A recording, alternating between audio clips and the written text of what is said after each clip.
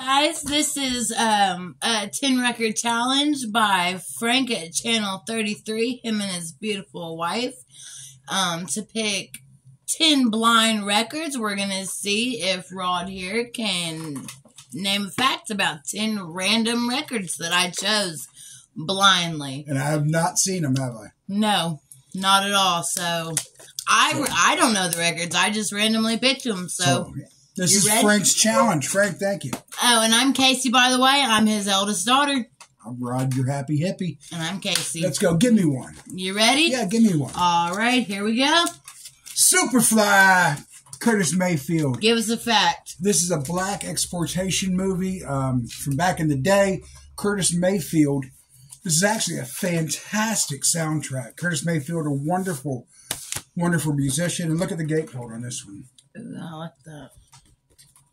Movie uh it may it may come off a little cheesy today because they didn't put a lot of money in the budget. Oh, Yeah. okay guys? But this is a super super cool soundtrack my friend. Wonderful wonderful album. Curtis mayfield you cannot go wrong with curtis mayfield. You ready for number two? All right. muddy waters. This is a record store day issue album I don't have to tell y'all anything about Muddy Waters, legendary blues musician. Um, I will tell you a funny fact where it's not funny, it's kind of sad. Um, Johnny Winter found out this guy was doing side jobs to make a living and could not, in, in the 70s, and could not believe it. And he produced one of um, the album Hard Again by Muddy Waters that really relaunched this genius of a musician's career. Muddy Waters is the blues. All right. And this one I actually know. Uh, this is uh, Neil Young. Why does that name sound familiar? Not my favorite Neil Young album. Uh, this is with Crazy Horse. You know, Neil Young had very many incarnations. Great artist, though. One, oh, God, wonderful artist.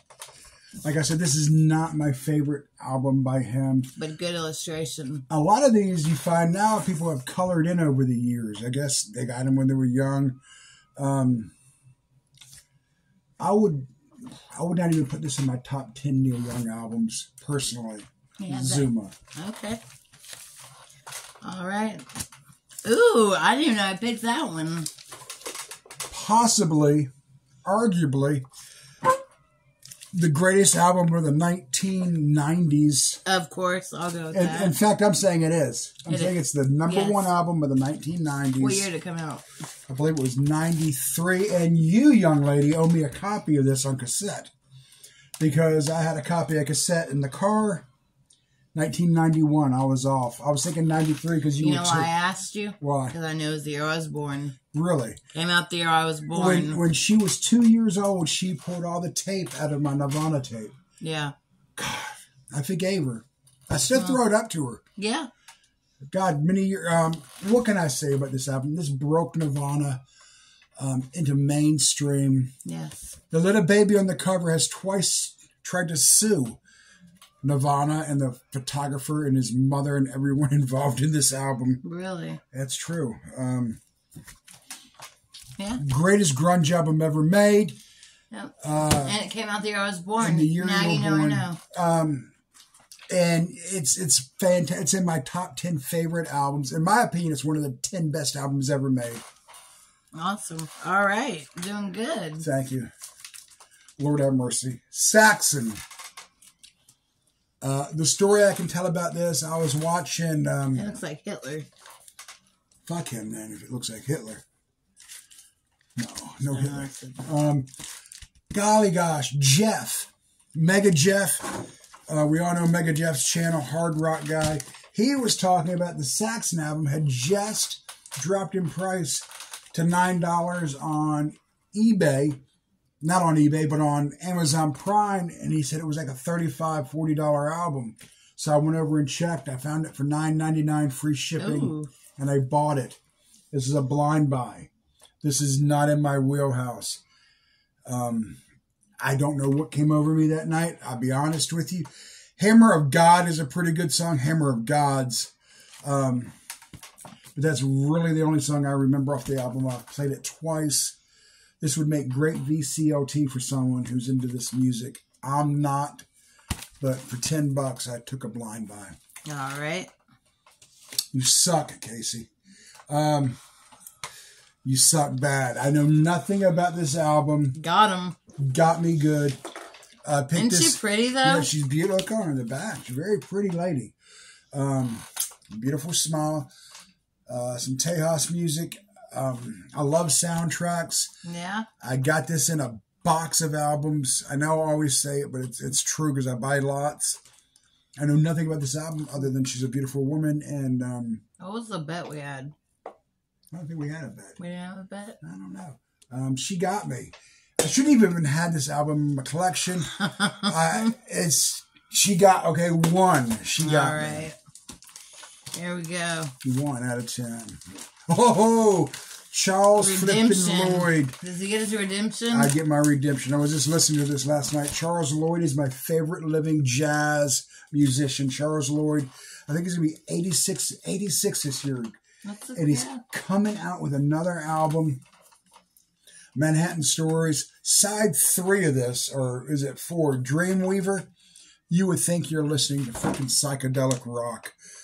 He mixes jazz and he fuses it with so many elements of freaking music, smooth jazz and bebop and free jazz. Um, Charles Lloyd actually once toured with the Beach Boys as a member. Yeah, he wasn't an official member, but he played with them. Charles Lloyd, if you don't know him, change that. He is the coolest cat in jazz today. He's the man. Awesome, awesome. I feel relieved. I feel I feel vindicated. All right. The Doors. Oh, What can I say about this iconic album? This, of course, is a reissue. Um, the Doors, Strange Days, People Were Strange. He had a thing for the word strange. The Doors. The band never had a bass player. Never had a bass player.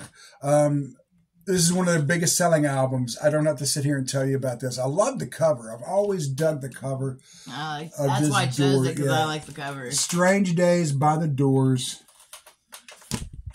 Okay. All right.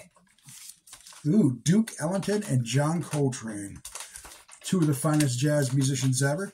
This was VCLT from a friend of mine, Josh, out in California. We know Duke Ellington, what a wonderful performer. John Coltrane, the legendary John Coltrane. Mostly he's famous for his album, um, Love Supreme. This is a very mellow blend of music, very chilled album.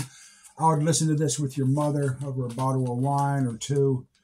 Um, not an album you're gonna listen to with your boys over the house, Right now. but it, it's a it's a ni- very nice, smooth album. And the last one. All right. Margo Price. You hear me talk a lot about Margo Price. I love Margo Price. She's an inspiration to uh, young ladies. Oh, I love the cover. That's beautiful. She's an amazing woman. She's so talented. She plays the drum. She plays guitar. This was her third album. She's got a. I won't get it. She's got a new one out since then. Since then, this came out during the pandemic, and my wife actually is the one that turned me onto this fucking album. Your mother, can you believe that? Of all people, Margo Price. I adore this woman. She's my favorite female artist. Bottom line. So how'd I do? wow. Nine out of ten. That I'll give She it. got some. me, man. Yeah. I don't even know why I had that album in the house. It's my daughter Casey. I'm Rod, your happy hippie. Thanks for watching. And uh, and if you want me back on the channel, give them as many likes as you can, and I want more subscribers for them. Yeah, you want her back on, man? Just let me know in the comments. She, she could be a, a part of the weekly uh, team. Yeah. Frank at Channel Thirty Three. Thanks for uh, coming up with this. Peace.